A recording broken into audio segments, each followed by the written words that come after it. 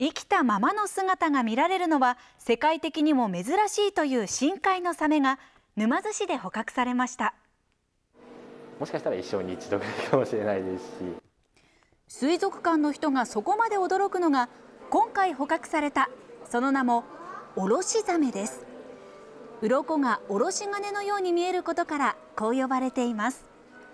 このおろしザメは昨日沼津市戸田の漁師が駿河湾の底引き網漁で見つけ淡島マリンパークに生きた状態で引き渡しました。世界でも数十例しか見つかっておらずさらに生きた状態はとても貴重だということです。かっこいい。海の中で見たら怖そうな感じですね。前例もなくてなかなか食べるものとかも分かってないところはあるので日々観察とちょっといろいろと調べてみて一日でも長く生きてもらえるようにちょっと試行錯誤頑張っていけたらと思ってますこのおろしザメ早速今日から淡島マリンパークで展示されています。